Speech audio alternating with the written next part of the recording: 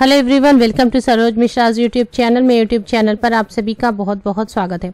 Public service commission के द्वारा government permanent lecturer PGT की रिक्रूटमेंट नोटिफिकेशन रिलीज़ हुई है।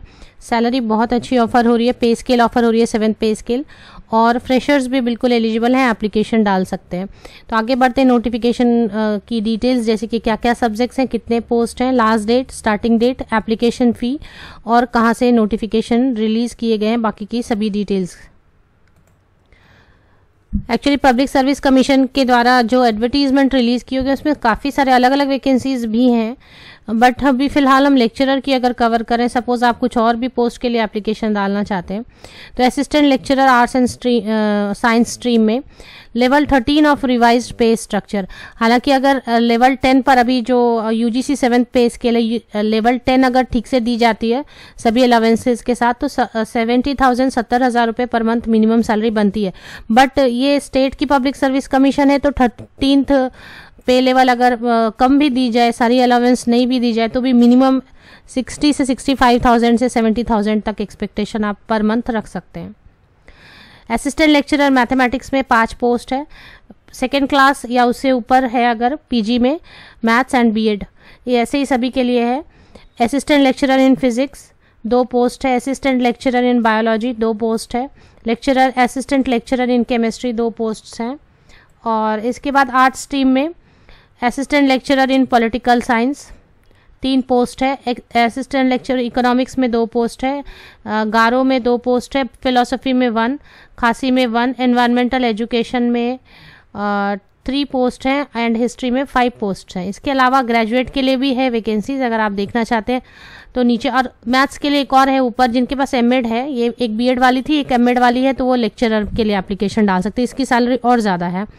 अगर आपके पास एम है और लाइक मैथ से आपने मास्टर्स डिग्री की हुई है फिफ्टी परसेंट मार्क्स के साथ, पाँच पोस्ट है, इसके लिए सैलरी और ज़्यादा है।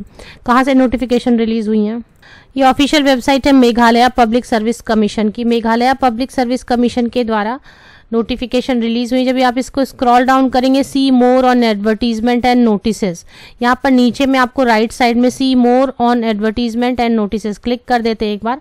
तो ये पेज ओपन हो जाती है। इसमें जो सेकेंड है on behalf of the government departments तो गवर्नमेंट डिपार्टमेंट्स के बिहाफ में पब्लिक सर्विस कमीशन निकाल रही है एप्लीकेशंस जो ऑनलाइन मोड में फिल किए जाएँगे from genuine citizens of India who are desirous to apply तो इसमें काफ़ी सारे पोस्ट हैं। अभी पीडीएफ ओपन कर लेते हैं। टेन पेजेस की है इसके।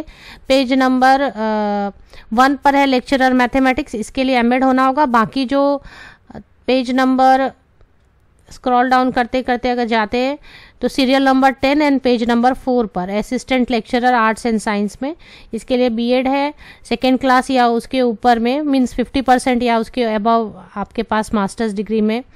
पीजी मास्टर्स डिग्री या पीजी है कंसर्न सब्जेक्ट में तो आप एप्लीकेशन डाल, अब यहाँ पर एक क्वेश्चन उठता है कि बाहर के स्टेट के कैंडिडेट एप्लीकेशन डाल सकते हैं या नहीं डाल सकते यहाँ पर तो ऊपर ही उन्होंने मेंशन कर दिया है कि genuine city Indian citizen those who are eligible तो यहाँ पर मुझे कोई भी रेस्ट्रिक्शन ऐसे नज़र नहीं आई है, लेकिन एक बार आप पीडीएफ खुद भी पढ़ लें और अगर सपोज़ आप एप्लीकेशन डालना चाहते हैं job location of course public service commission Meghalaya की है तो मेघालय में ही आपको जाकर जहाँ पर भी पोस्टिंग दी जाएगी। लेकिन बाहर के कैंडिडेट एप्लीकेशन नहीं डाल सकते, ऐसा मेंशन नहीं किया गया है।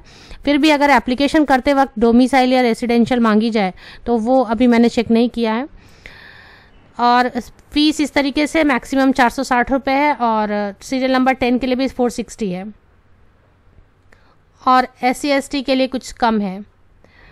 जो परमानेंट रेसिडेंट है मेघालय के, वहाँ के एस सी हैं तो उनके लिए हाफ़ मतलब टू थर्टी रुपीज़ इस तरीके से हाँ। इसके लिए रिटर्न एग्जामिनेशन कंडक्ट कराई जाएगी और बाकी की सभी डिटेल्स के लिए ऑफिशियल वेबसाइट की लिंक मैं आपको दे देती हूँ।